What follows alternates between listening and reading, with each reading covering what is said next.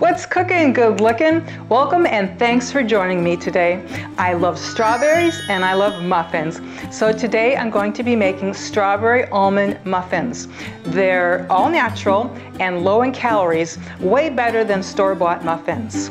Hi, I'm Ruth Frechman, registered dietitian and weight loss specialist. I hope you like my muffin recipe. And if you like, give me a thumbs up and don't forget to hit the subscribe button. You don't have to be a baker to make muffins. Muffins are considered quick breads, and quick breads means that you can make them very quickly. No yeast, no kneading. Basically, you put the dry ingredients in one bowl, you put the wet ingredients in another bowl, you put the wet into the dry, and pop them into the oven. Are you ready? Let's make some muffins. Preheat the oven to 350 degrees. Spray a muffin pan with non-stick cooking spray or use liners. In a large bowl, add 1 1/2 cups of flour, 1 2 cup packed brown sugar, 1 2 cup oatmeal, 1 tablespoon baking soda, 1 2 teaspoon baking powder, 1 2 teaspoon salt. Mix the dry ingredients together with a spatula or a whisk.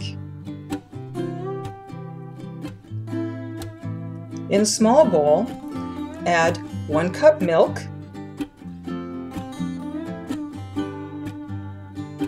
1 large egg, 1 third of a cup oil, 1 third of a cup applesauce, 2 teaspoons almond extract. Whisk the liquid ingredients together.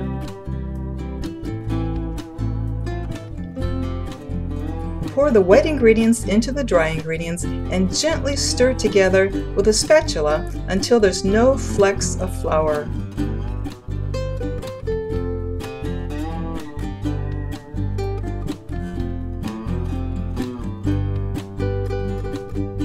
Gently stir in 1 2 cup chopped strawberries into the muffin mixture.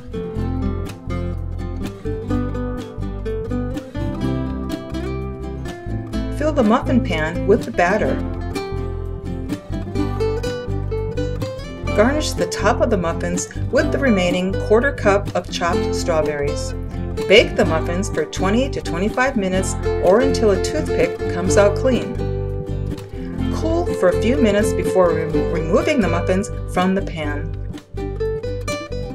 Delicious! Look at these guys. Warm, yummy, and pure happiness.